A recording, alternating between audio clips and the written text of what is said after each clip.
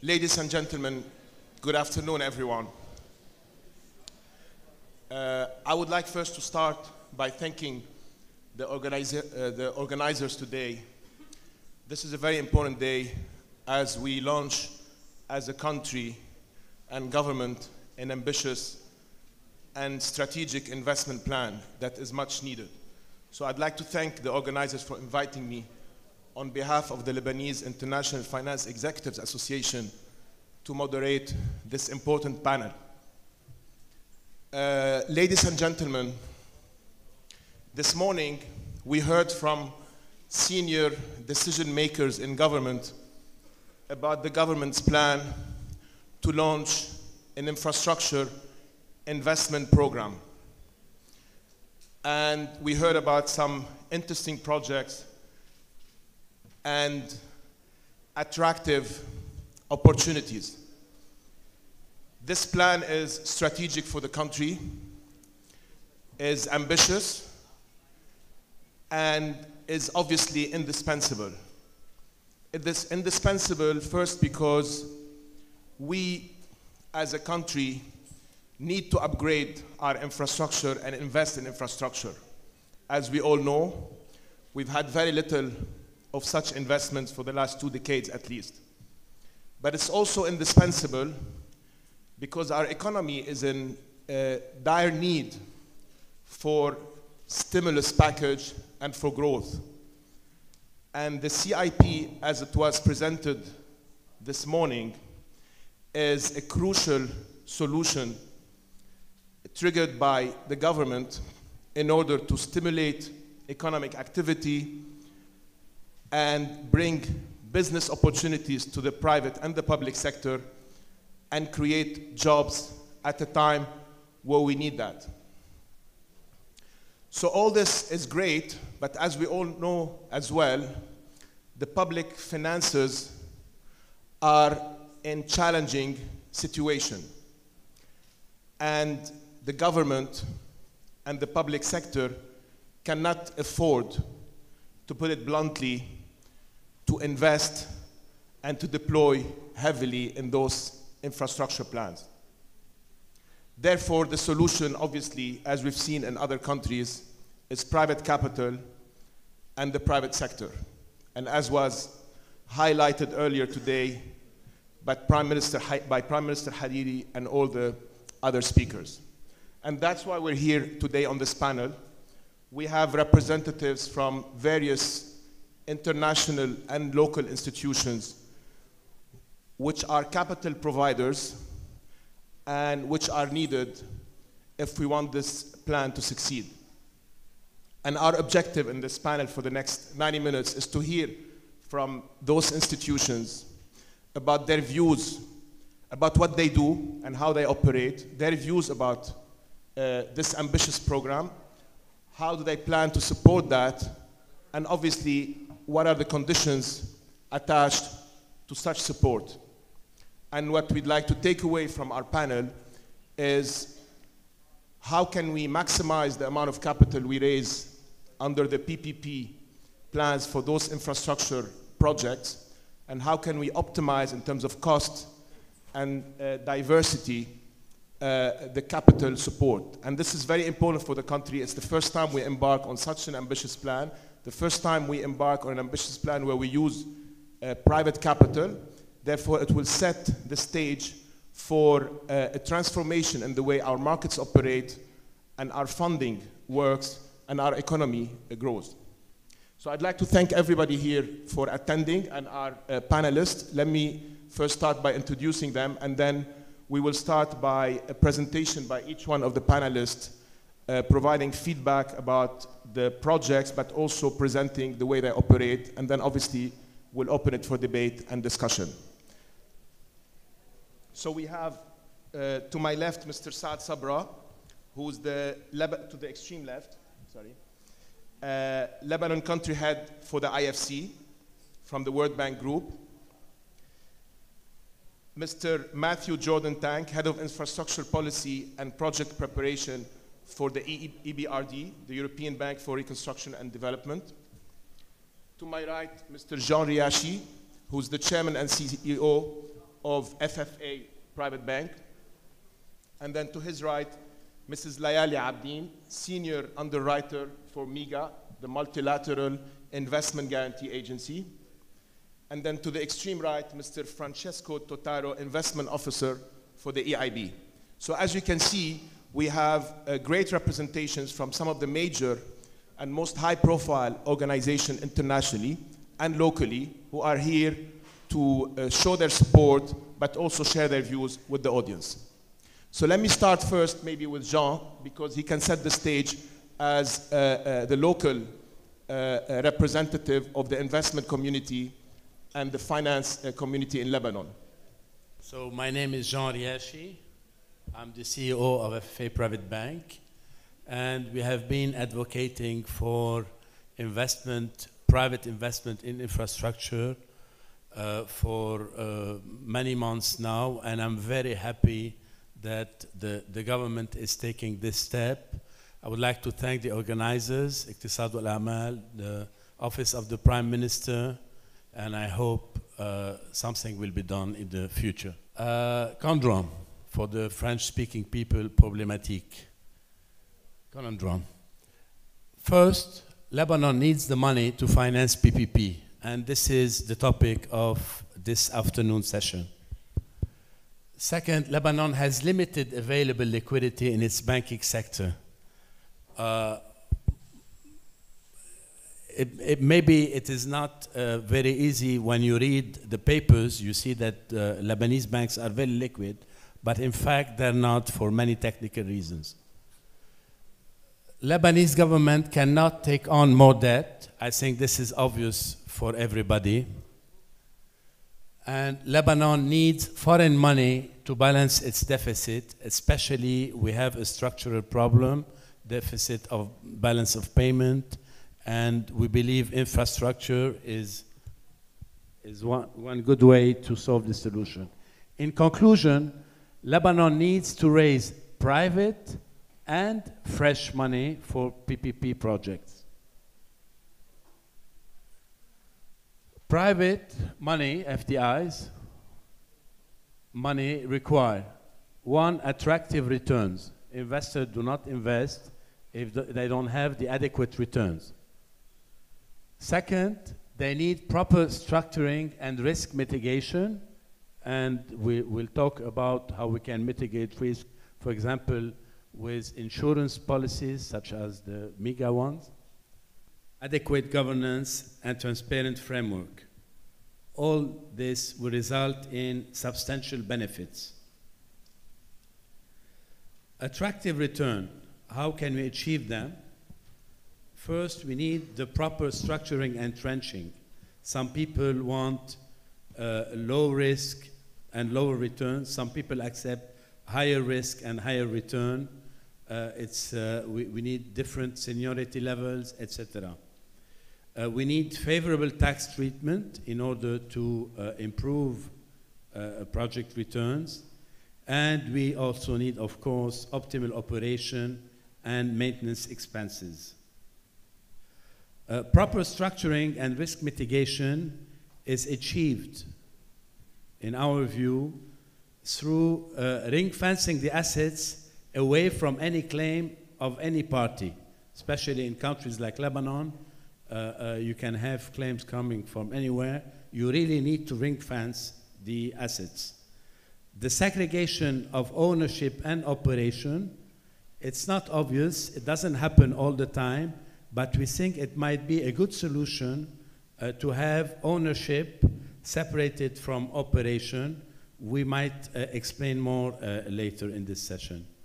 Bankruptcy remoteness, of course, and we need swift, swift out-of-court enforcement process because, as you know, the judiciary in Lebanon is not very uh, efficient. This is the least we can say. Uh, adequate governance and transparent framework is achieved through Uh, uh, using properly structured SPVs, and Lebanese laws allow for this. We'll explain more. Autopilot administration of the assets in case of segregation between assets and operation. Of course, no conflict of interest between owner, operator, and contractor. and very importantly, reporting obligations to investors, and it's better if it's required by law. Substantial benefits are uh, we're not saying that local banks, although they don't have the liquidity, that meaning it's going to be difficult for them to finance these projects through their balance sheet, but they have access to money and they could also play a very active role in, uh, uh, in raising money for those projects on an agency basis. And also they could participate in their balance sheet because if we use, for example, securitization, meaning it's not bilateral loans but securities that are issued, banks, of course, can buy them for their own balance sheet. Very importantly, ensuring equal investment opportunity to local constituents. And here we're talking about what the governor was saying this morning, uh, capital markets in Lebanon. Uh, people can invest and should be allowed to invest in those projects. So again, we need to issue the proper securities. Same thing for the diaspora. How to attract the diaspora? By allowing them to invest in securities, in these projects through securities, and even preferably if these securities can be traded and held in bank accounts outside Lebanon. This is what we call Euroclearable. Uh, this will also waive the suspicion of corruption because if this opportunity is open to the public, it means that everybody can benefit and not only a small group of insiders. Ensuring the continuity of public service uh, is uh, what, when we advocate for segregation between assets ownership and operation, uh, this will allow to ensure the continuity of public service in case of litigation of, uh, or disagreement with the operator. I'll give you an example. Uh, we had, the, you know, those cellular companies. The, the government had to uh, negotiate the, the purchase, the, the repurchase of the assets, uh, and it, it, was a lengthy process. Same thing with Sukleen. I mean, uh, uh, this is a good solution uh, to, to alleviate this problem. We believe that reverting to structured finance to finance PPP is very much in line with the PPP law, and uh, it's even enshrined in the law under Article 16. And I think that Mr. Ziad Hayek mentioned this uh, this morning. And by the way, uh, the law itself says, the PPP law says that the financial structure of the project is also something that the High Council will look at very closely. So not only the technical uh, uh, aspects. Uh, I would like to go through a few charts. you all know that the ratio of debt to GDP is, is, is very high.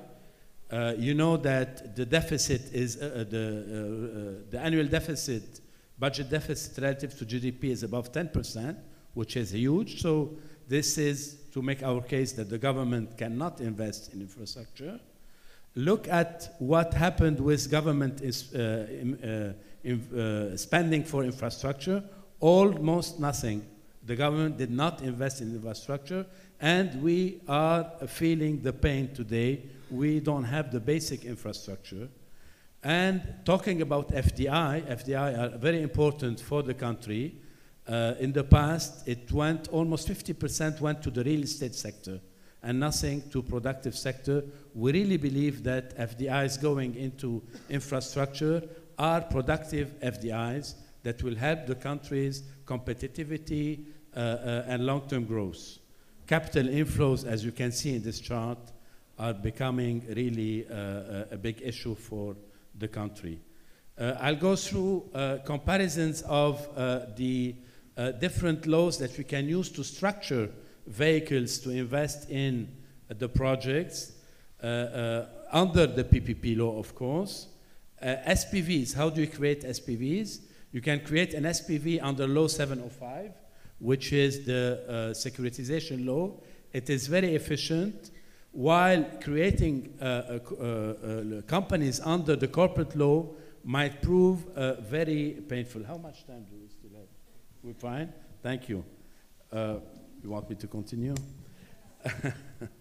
Uh, why it's not, uh, uh, it has many reasons, we will explain them to you.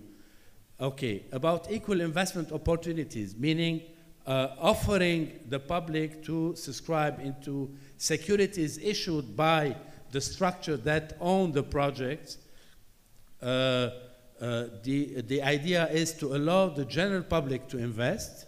Okay, it is very, of course, achievable through the uh, securitization law by definition, by design. Uh, it's called securitization, meaning you issue securities. Uh, achievable, more complicated under the fiduciary law 520.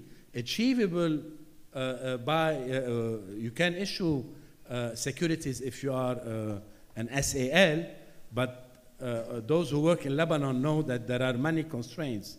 Uh, and, and second, the governance is not well uh, guaranteed by uh, the Code of Commerce and, and, and certainly not uh, up to international standards. So we don't believe it's the good solution.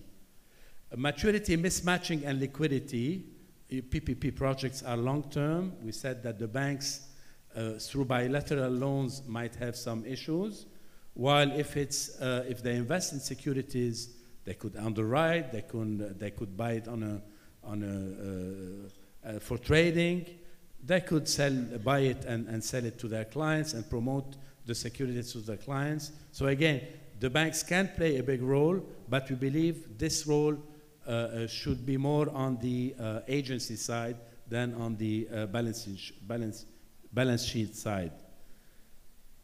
Uh, uh, just one point, for example, in the corporate law, an SAL can issue bonds for only three times its nominal capital. Mean, and, and you cannot do tranching, uh, while uh, if you use the securitization law, you can do as many tranches as you want with all the features that you want interest, uh, uh, guarantees, uh, seniority, whatever, which is not available under corporate, uh, co- corporate law. Uh, of course, uh, attractiveness to investment diaspora securitization is much better. Um, the enforced governance is by design in the uh, securitization law. Uh, it is not very well uh, designed for uh, uh, uh, SALs, for example, because the minority rights, the reporting uh, obligations are not really uh, very efficient under the Code of Commerce. Uh, corruption, as we said, if the uh, investment is offered to the public through the markets, through marketable securities, uh, the suspicion of corruption will be less uh, present. While most of the, the, the PPPs that we've seen in the past, we've seen a small group of investors, uh, very well connected. Uh, everybody is suspicious. Uh, it, it shouldn't be the case in the future. Well, I think uh, what else? What else? Uh, okay, uh, again, by using the securitization law, you can tailor the instruments the way you want. Because as you will see, we'll have many kinds of, uh, many sorts of uh, investors. We'll have the multilaterals, we'll have the development funds, we will have the general public, we'll have uh, private investors owning uh, equity and public investors owning e- equities. They all have different needs and different level of uh, requirement in terms of seniority. And I think that's it. Thank you very much.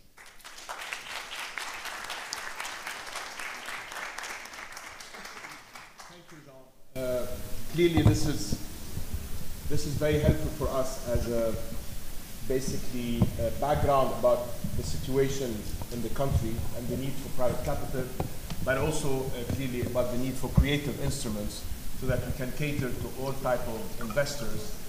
And I think we all uh, uh, acknowledge, and we see it in other countries, that there is a large variety of investors, especially in Lebanon, where there's a big pool of capital available to fund investment projects. We just need to cater to them properly. Anyway, uh, let me just pass it to Matthew for the uh, EBRD. And Matthew will uh, give us the perspective of the EBRD as a major institution who has a strong track record in supporting infrastructure and development projects, uh, and who clearly uh, is looking at the Lebanese uh, program uh, with interest.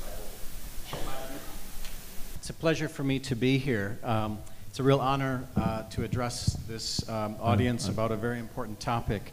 Um, I um, am the manager of our project preparation facility at EBRD based in London, um, and I also work quite a bit on infrastructure policy. So I'll speak with both hats today. Firstly, let me thank um, the High Council um, for Privatization and PPPs for inviting EBRD. Um, as many of you know, we're, we're quite new to the country. I, uh, we've only really had a presence here for about six months. So we're very, very um, interested and eager to become involved in the infrastructure sector. Um, uh, what I'll do is just in a couple of minutes run through um, PPPs and our experience to introduce you a little bit to EBRD and our approach. Um, I'll talk to you about our project preparation facility, the architecture of it, how it's working, why we think that's important, and then uh, specifically go a little bit deeper into risk mitigation, which I think for many of you, uh, the investors in the room, is, is um, something that's at the top of your mind, how to come into these projects with an appropriate risk allocation. So going through. EBRD um, has, as, as I'm sure those who, who know a bit about the institution, we have an orientation towards the private sector.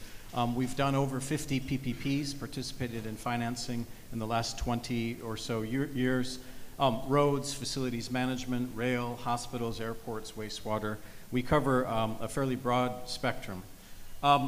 Um, within that, um, I thought it was important to, to show you that, that the bank, um, whilst we are a, a, a development institution, um, we also, we really specialize in uh, private sector, sub-sovereign, um, almost what one would call corporate utility lending with private sector principles, private sector um, pricing.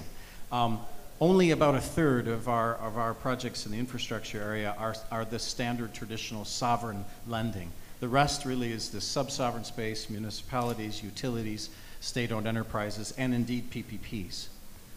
Um, now, key lessons learned from, from our experience. I mean, the first thing to explain is that the, we're talking about here this realm of PPPs, which is a whole spectrum ranging from service contract, excuse me, management contracts and then building from there in the kind of alphabet soup of design build, um, DBO, DBOM, DBFOM, DBFOMT, um, and BOO, BOT, et cetera. And as you build up, you're going from essentially, this, this slide is, is trying to show how the private sector increases its operational involvement as you move up the chain, but also its, its, um, its investment level, so on, on the, the um, bottom axis. Now, the vertical axis I want to show that, that risk as you move up that chain of PPPs, risk also increases for the private sector. And, and, and, and, and with that risk, it's often accompanied by a, a longer term engagement. So there's a longer term duration to the contract. So this is what happens as you build up experience and you go for deeper and deeper private sector involvement. Um, very quickly, the, the EBRD approach, if you will, is, is typically we start with a kind of a planning framework, support at the planning level. And usually we do in the very early days of many of our countries 20 years ago, it was sovereign lending. That was all that was allowed to be done. That was what the legal framework allowed.